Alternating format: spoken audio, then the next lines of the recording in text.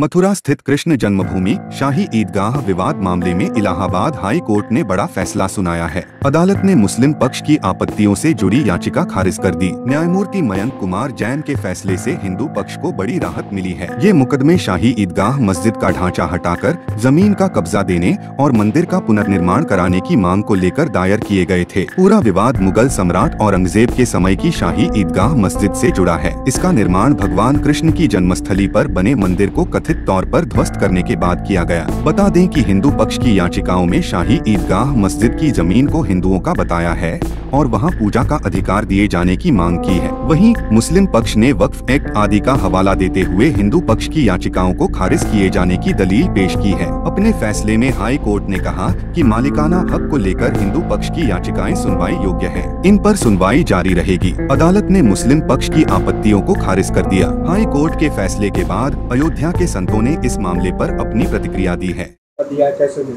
बहुत अच्छी बात है। कोर्ट ने जो दिया है वो सबूत के आधार पर दिया है और ये पहला पड़ाव है जो हिंदू के पक्ष में हो गया है।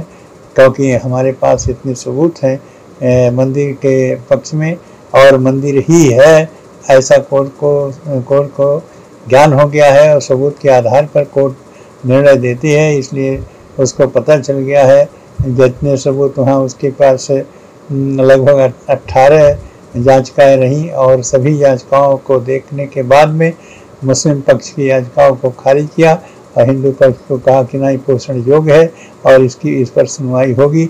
इसे सुनवाई होगी ही तो निश्चित है निर्णय भी होगा। महाराज अयोध्या की तर्ज पे मथुरा जी हाँ बिल्कुल अयोध्या के तर्ज पर ही मथुरा का कार्य हो रहा है। प्रारंभ में जैसे यहाँ लोअर कोर्ट में भी आदेश हुआ, फिर हाई कोर्ट गया, फिर सुप्रीम कोर्ट ने जिस तरह से आदेश पारित किया, यह इसे निश्चित है यह मथुरा का भी होगा। विदेशी आक्रांताओं के द्वारा कृष्ण जन्मभूमि मथुरा में जो शाही ईदगाह मस्जिद बनी है, उसको हटने का अब रास्ता साफ़ हो गया है। जो शाही ईदगाह मस्जिद की ओर से याचिका दायर की गई थी, वह इलाहाबाद उच्च न्यायालय ने उसको खारिज कर दिया है। यह सौ करोड़ हिंदुओं के धैर्य की बहुत बड़ी जीत है। अब रास्ता क्लियर हो गया है।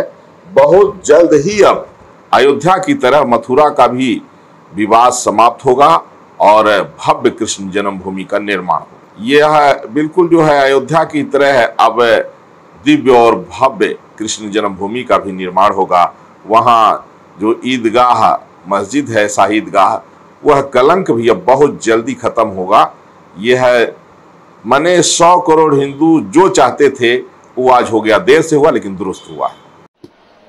शाही ईदगाह कमेटी एवं सुन्नी सेंट्रल बोर्ड ने सात ग्यारह के तहत आपत्ति किया था कि हिंदू पक्ष को कोर्ट जाकर और इस पर मुकदमा लड़ने का अधिकार नहीं है। वफ एक्ट के तहत एवं, अन्य और भी विषय पर उन्होंने आपत्ति किया था।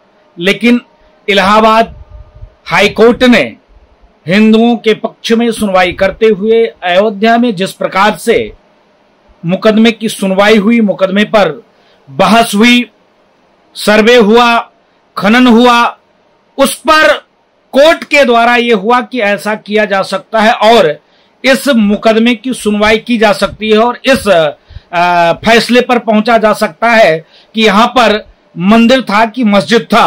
तो मंदिर के पक्ष में कोर्ट का आदेश आया है कोर्ट को साधुवाद है आभार है धन्यवाद है। और देखिए ऐसा है कि हम लोग को आस्था और विश्वास है क्योंकि वह जन्मभूमि है किसी भी प्रकार से मंदिर और मस्जिद का ये विवाद नहीं है ये जन्मभूमि का विवाद है और भगवान की जन्मभूमि वो है मंदिर मस्जिद की बात ही नहीं है। मुसलमानों को तत्काल सुपुर्द कर देना चाहिए सौंप देना चाहिए लेकिन मुस्लिम कौम के मानने वाले लोग सदैव सदैव सदैव आ, कभी भी हिंदू के पक्ष में भाव ही उनकी नहीं रहती है।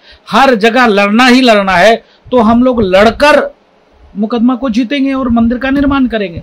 लोकल 18 के लिए अयोध्या से सर्वेश श्रीवास्तव की रिपोर्ट।